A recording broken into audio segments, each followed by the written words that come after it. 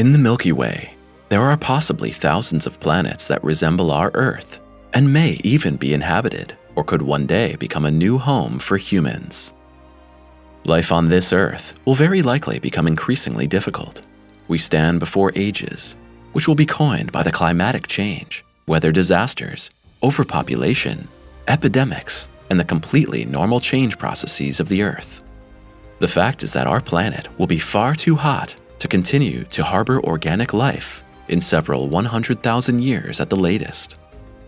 Even if journeys to other planets are at present still unthinkable, scientists hold lookout for a new Earth. NASA found it in the TOI 700 system. There, a planet exists which is considered as a new super Earth. We dive today into the possible habitability of the distant planet TOI 700d.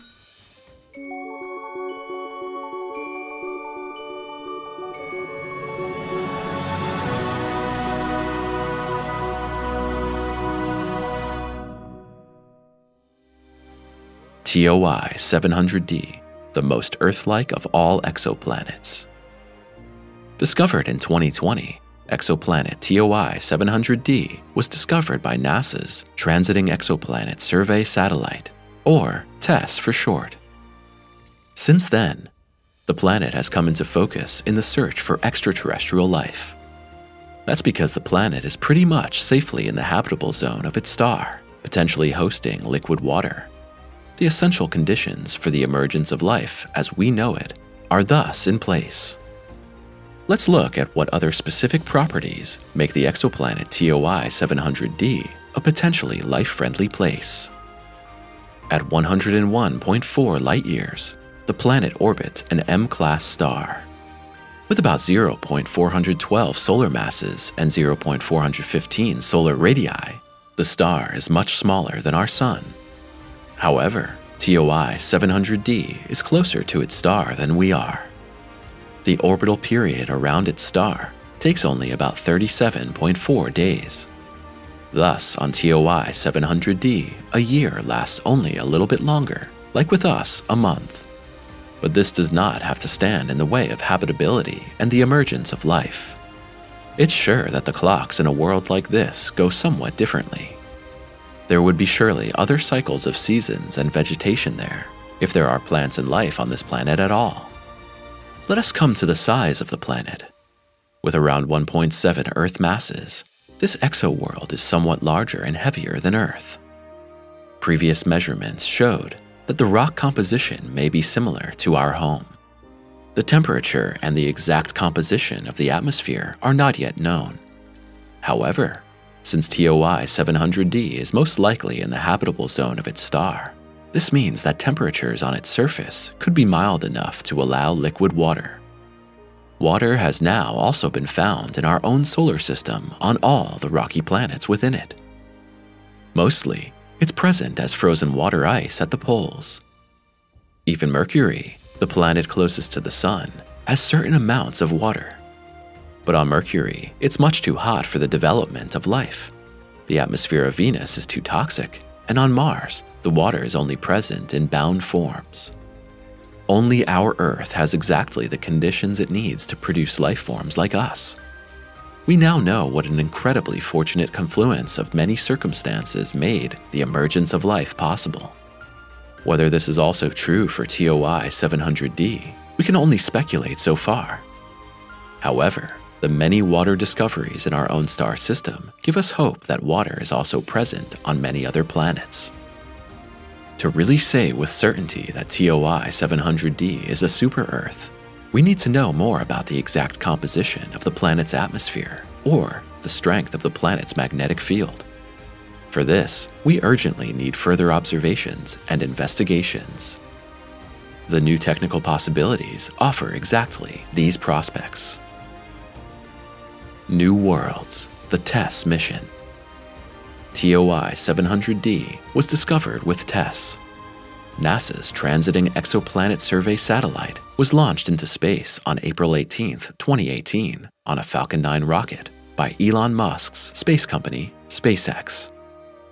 Initially, TESS's primary mission was designed to last only two full years. From 2018 to 2020, TESS was to detect exoplanets. Because the successes have been overwhelming and the satellite remains in good shape today, the mission has already been extended twice.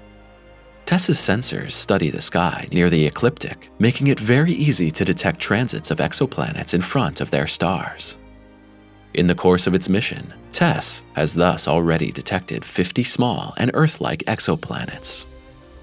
The data from TESS are used by scientists around the world to study the properties of exoplanets and their atmospheres, and to learn more about how planets form and evolve outside our solar system. The observation satellite orbits Earth in a highly elliptical orbit, which NASA calls a P2 orbit. TESS's orbit is designed so that the satellite passes Earth every 27.4 days and studies a new part of the sky during each orbit of the planet. In doing so, TESS is in an Earth-bound orbit that is between 108,000 kilometers and 373,000 kilometers from Earth. By comparison, communication satellites and weather satellites operate at a distance of only about 36,000 kilometers from the Earth's surface. TESS's elliptical orbit allows the satellite to scan nearly the entire sky without being affected by the brightness of the sun. This allows TESS to search for planets orbiting stars that are very faint as seen from Earth. In fact, the transit method can only detect exoplanets when they become visible as small obscurations in front of their stars. The brighter the star and the larger the planet, the easier it is for us to see it on Earth. Small planets with less luminous stars often could not be seen as well with predecessor telescopes. All in all, the TESS mission was and is a huge success. And not only because of the promising TOI 700D world. By the way, TESS discovered four more exoplanets in the TOI 700 system. TOI 700b and TOI 700c are not in the habitable zone. TOI 700e is about 10% smaller than its neighbor D and is probably also a rocky planet. And this world too could have liquid water and a mild climate. Will JWST bring the answer? The James Webb Space Telescope, launched in 2022, will set new standards in the study of exoplanets. Namely, the telescope is capable of detecting water in the atmospheres of exoplanets. One of the main goals of the mission is to study the atmospheres of exoplanets and look for biomarkers that could indicate the presence of life, and the most important biomarker is water.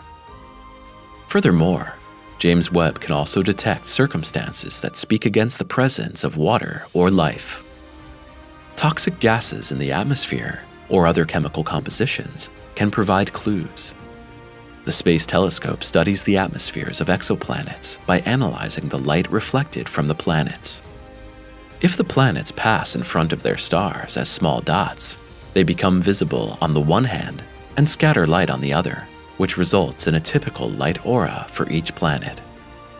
The light of the star in the background shines through the atmosphere and the closer environment of the exoplanet, and thereby changes of the light rays occur.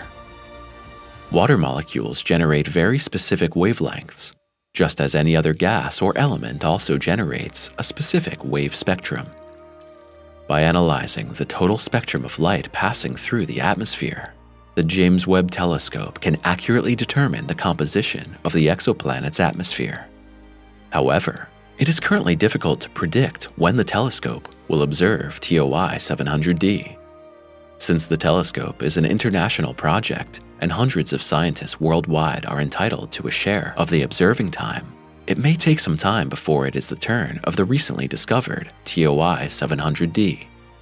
Perhaps another telescope will be faster, because the extremely large telescope of the European Southern Observatory is expected to start in the Chilean Atacama Desert next year. And this super telescope will also be able to illuminate the atmospheres of exoplanets. If it then turns out, yes, TOI 700D is a water-rich exoworld with an Earth-like atmosphere, the sensation would of course be perfect. But what practical steps could we Earthlings then take to reach this world? Contact with exoplanets. If we had confidence that TOI 700D was a potentially habitable or even inhabited world, scientists would try to make contact. At a distance of just over 100 light years, the TOI 700 system is more or less in our cosmic neighborhood, but it is still incredibly far away when measured against our technical capabilities. A radio signal can never travel faster than light, and thus, it would be more than 100 years away. If it would be received by entities living there, and if they would actually answer, this signal would probably also travel more than 100 years again, unless an even more advanced civilization living there would have other possibilities to contact us in a faster way. To fly with spaceships to TOI 700 would be, of course, a dream if the planet should really be a second Earth or is inhabited by nice aliens.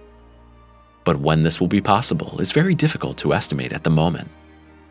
Even the nearest star, Proxima Centauri, which is only about 4 light years away from us, is not reachable with the current technologies and propulsion systems. Worldwide, technicians are working on the advancement of the warp drive. In theory, this already exists in the form of the Alcubierre drive. However, this is currently still the problem of energy. All functional warp systems to date are hypothetical propulsion systems that would require so much energy that the demand would approach infinity. In 2022, a team of US researchers announced that they had succeeded for the first time in creating a tiny warp bubble in their laboratory. Now, all we have to do is turn fractions of micrometers into measures of length, and we're ready to go. All kidding aside, you and I may live to see the first humans land on Mars and the first lunar station populated by humans. But the first warp spaceships probably won't be whizzing through space for another few hundred years. We will probably have to make ourselves comfortable on Earth for that long Although horror stories about the climate, the environment, and the scarcity of resources are pouring in, this planet also offers all kinds of advantages to enjoy. Or what do you think? Do you think that mankind has to hurry to find another cosmic home? Or do you think that the fear for the Earth and for our continued existence is unfounded? We welcome your opinions and ideas on the topic in the comments. See you next time at Simply Space.